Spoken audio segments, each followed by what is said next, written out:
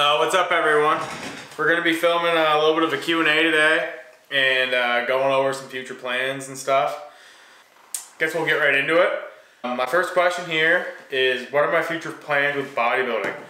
As of right now, um, I don't really have any indefinite plans. Um, I think I'm to take at least, I'd like to say almost a year for my last show to do another one. So I, I might do Flex again next year not 100% sure. Um, I'd like to do even Montreal again too. It was a pretty fun show. So the next question is, um, what training did I enjoy more, powerlifting or bodybuilding? That's a hard question to answer because of how different they are, or they different they were for me personally.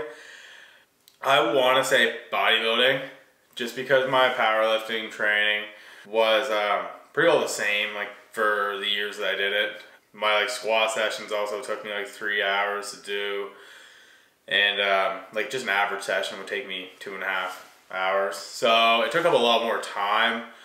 And it was, um, like, I, I felt like shit kind of all the time around my powerlifting sessions. Just because of the amount of weight and stuff that I was lifting and um, not taking my health quite as seriously as I am now. So I, I want to say bodybuilding. For me personally, I enjoy the training more. I'm able to train more frequently, which I enjoy. I like to train every day. So with bodybuilding, I can train five, six times a week and I can feel fine, I can recover.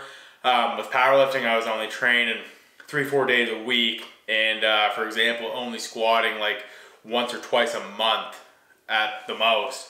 So for me, I enjoy bodybuilding training more although I did enjoy powerlifting a lot when I when I was doing it, you know, it uh it was really good mentally. It got me through a lot of stuff, having you know the heavy weights and the hardcore training like I was doing.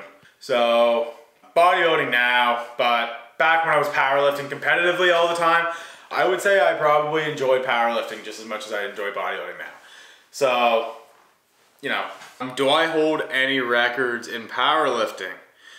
Yes, I do. Um, I'm not 100% sure which national records I have anymore. I know that I broke national records at every competition that I did.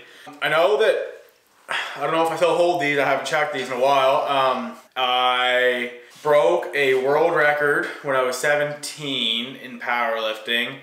I had a total of 1706, I think it was when I was 17 in the 275 category. I weighed in at 253 and I squatted 733, benched 365-ish, and deadlifted 606, I think. So that was a world record.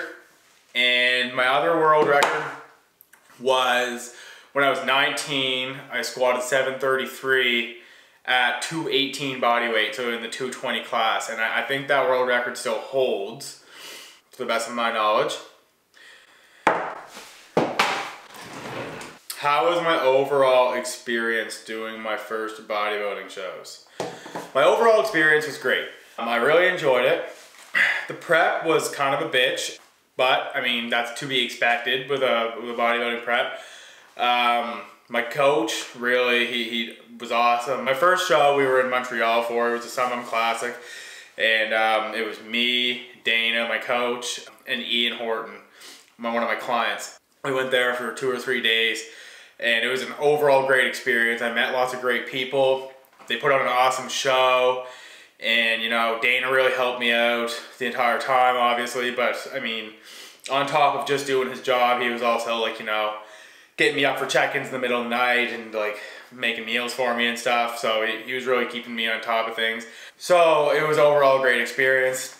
And then the next weekend I was in uh, Moncton for the Flex Lewis Classic.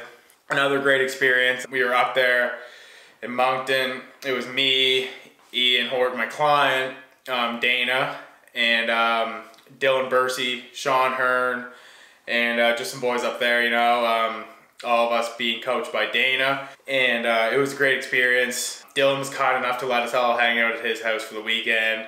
And, you know, we were just hanging out, eating, and um, getting ready for the show. So, I mean, those were great experiences, and uh, I'm really happy I did it.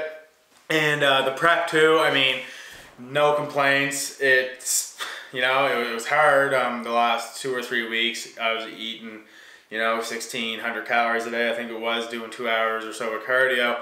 So it, it gets it gets rough, but um, in the end, it was all worth it. So that's the main thing. And um, I'm excited to do another one after I take a good off season and um, you know get get some of my ducks in a row.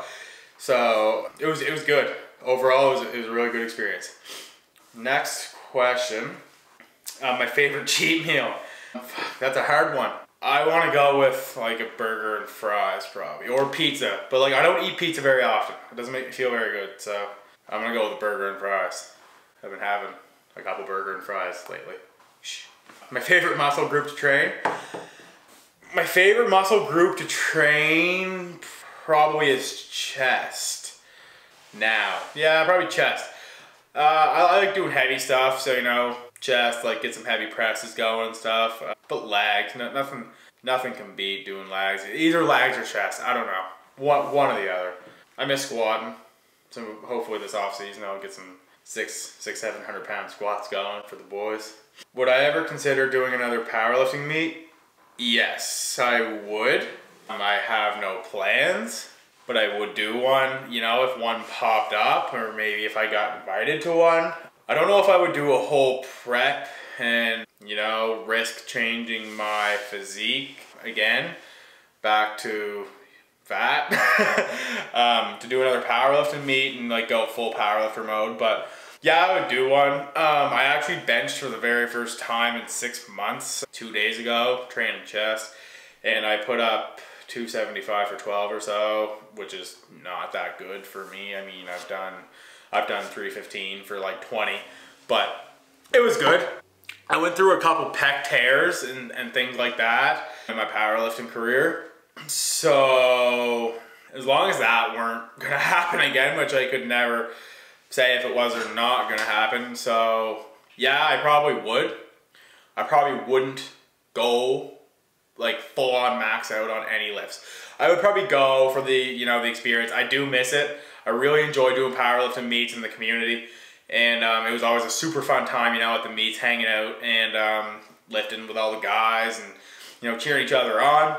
So that's something I definitely really miss. I do miss the training too.